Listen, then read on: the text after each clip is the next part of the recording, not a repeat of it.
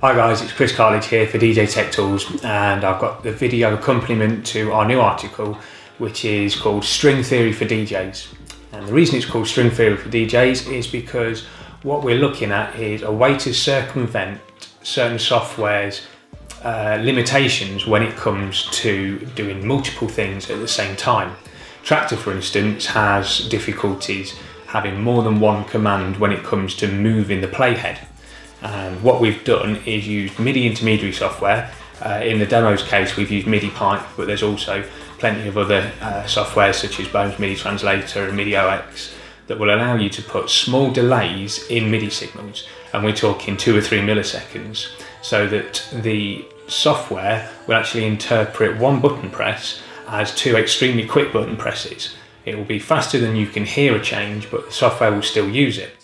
Uh, that allows us to do things like, uh, in this case for this example here, we've got uh, very basic functionality of Novation's Twitch slicer mode implemented directly into Traktor.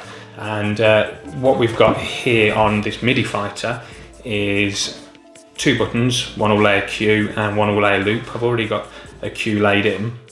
And these bottom eight buttons will reference that cue with the, with the first instance, and then three milliseconds later, depending on the button, they'll beat jump to different points in the track.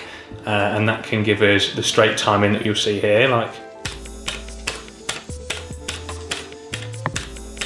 Okay, so this is literally just the same timing, but we can etc. Okay, so what we'll actually do is give you a quick demo now so that we can see how that can be performed and uh, let's go.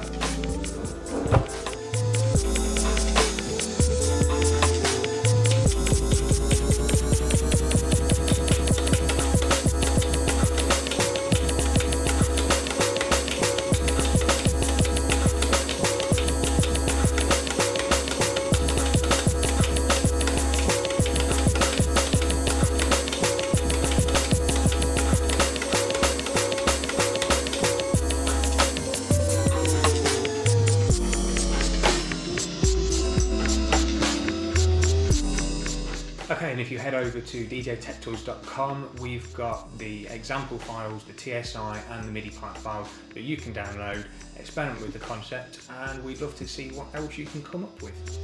Thanks for watching.